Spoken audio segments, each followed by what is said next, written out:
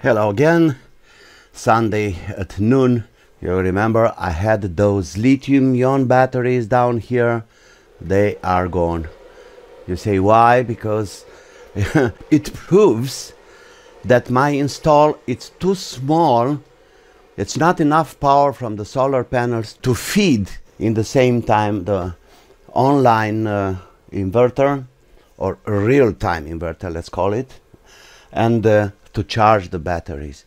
I'm only having 1000, let's say, let's call it 1500 watts hour panels, and that's not enough to feed a 7 kilowatts hour batteries. So I have to give up because anyway, I can't have more panels. I got no place to put them. And for now, I'm okay with this install. So far, that's a really nice surprise. My inverter gave until today, which is uh, 28th of August, gave me this month more than 100 kilowatts hours. So this is great. I never had this production before. But you know why? This is very simple. Of course, I don't have those batteries anymore. But what I have done, I use, and I'm using, these three AGM batteries in series with the same old install. So I'm coming from the panel, so if 91.2, okay, should be around 100 volts. This goes down through these wires, down to the batteries, and of course back. the inverter now it's connected somehow in parallel with the MPPT and with the batteries. As you can see, now the batteries are at 43.4, so they are charged. A part of the current goes directly to the inverter and a part of this current goes to the battery. Can you see this? The temperature is at 36.7 and this is very important too.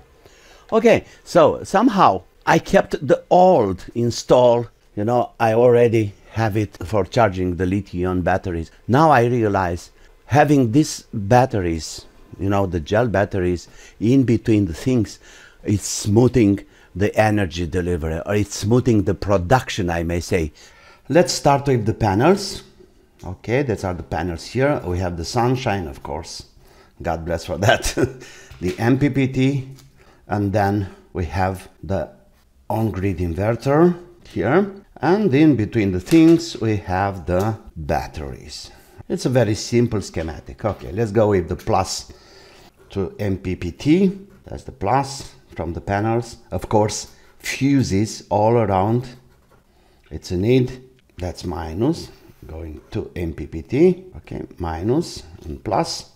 Here I have around 100 volts DC from the MPPT, we got the plus going to the battery, plus, all right. Then we have the minus going to the battery. And here I have a 36 volts AGM. I think it's around 50 amps hour in this configuration, okay? And from the battery, very simply, we're going to the inverter. Of course, like I said, fuses all around.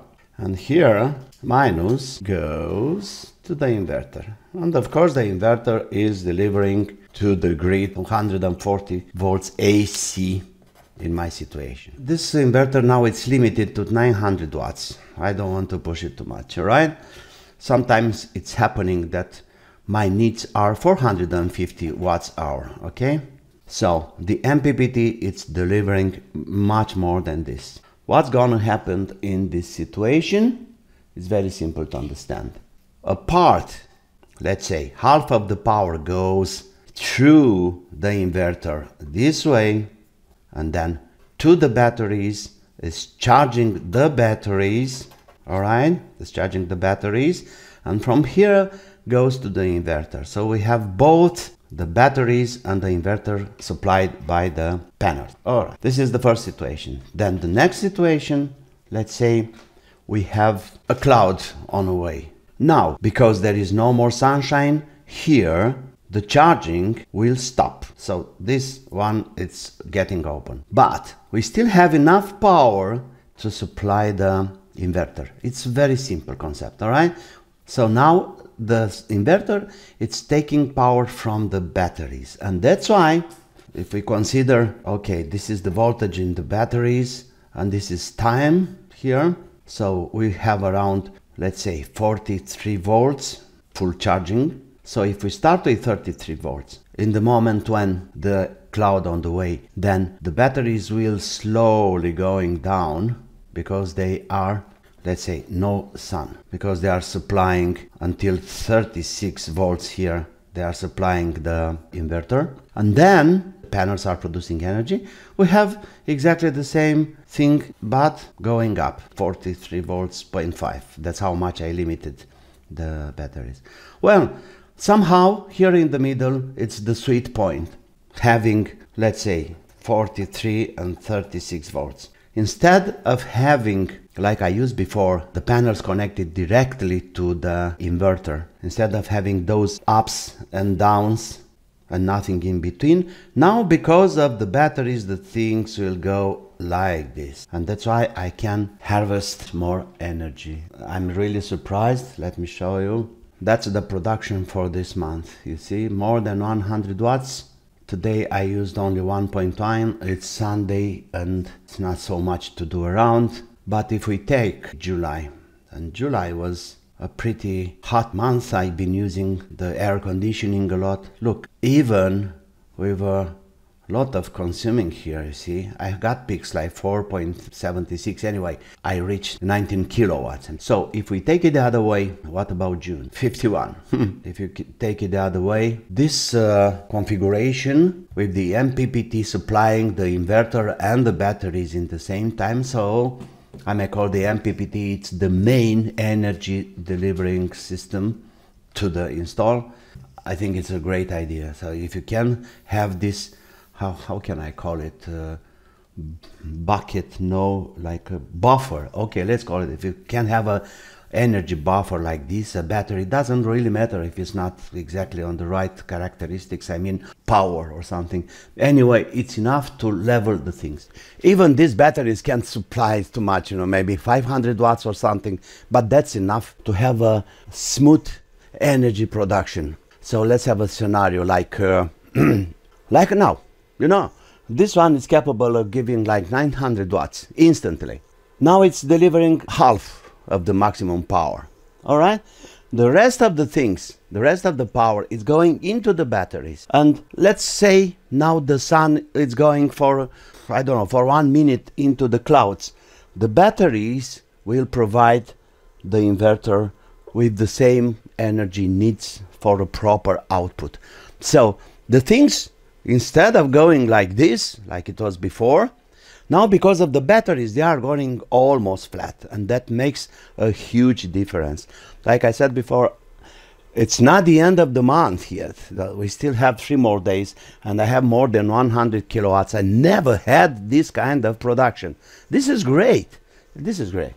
Okay, let's talk about the MPPT because somebody, one of my watchers, you know, asked or anyway said uh, that uh, it's a great device. Yes, it is. But this guy, he used to work very easy, you know, light job charging my 12 volt batteries before in the initial install.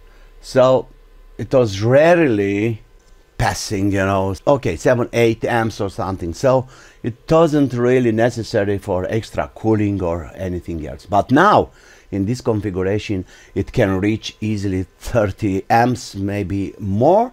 So um, what I had to do for now this is just an improvisation.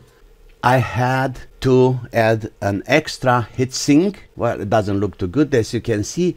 For now I just put some thermal pads I used before. You see it uh, I, I, think you saw it in my videos before.